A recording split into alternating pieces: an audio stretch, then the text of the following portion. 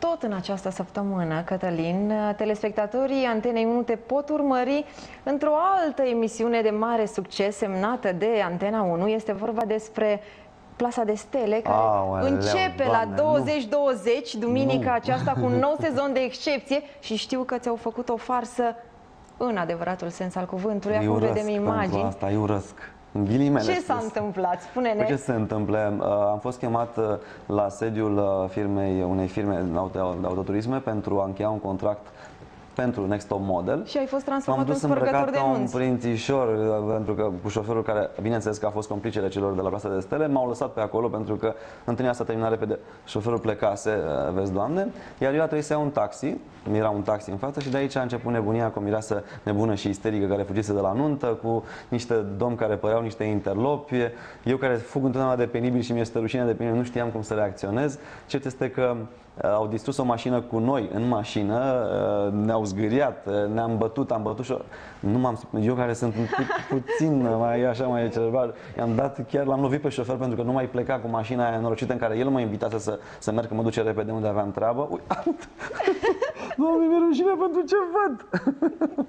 După care, ce pot să spun este că rulota în care băieții, interlopii au închis-o pe mireasă pentru că nu vrea să recunoască că mă cunoaște dinainte, a explodat într-un număr de magie, pentru că am văzut cu ochii mei că mireasa n-a ieșit din acea rulotă. Deci uh, am văzut cu ochii mei asta și am intrat într-o mare panică, iar panica a mers uh, destul de grav, pentru că la un moment dat uh, a explodat rulota, ei au plecat, au spus acum ia-ți o prăjită, fă ce vrei cu ea, iar eu m-am dus să văd dacă pot să salvez și unul dintre butoaie care nu explodase la comanda celor de la producție a explodat chiar în momentul în care m-am apropiat. Deci a fost cu emoții.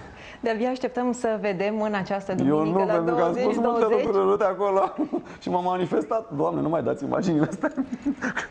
să mă vadă lumea violent, mi-e rușine pentru ce văd. Ai bănuit vreo secundă că e o farsă? Uh, am avut un singur moment când ea a spus eu vreau să mă fac prezentatoare la Meteo, nu vreau să mă mări cu tine mitocanule. Și atunci am apuvnit să m-am gândit că poate fi ceva, dar erau atât de buni actorii, jucau atât de bine, la un moment dat îi lăsam, că m-au luat cu o mașină, se certau și mă puvnea și râsul. Avea un vocabular infect, abject, dar în același timp nu știu, am spus, la, la un moment dat i-am spus, nu lua de nevastă, că e prea isterică, lasă. E sigur că ții la ea încât vrei să o iei de nevastă, lasă, nu vezi că nu.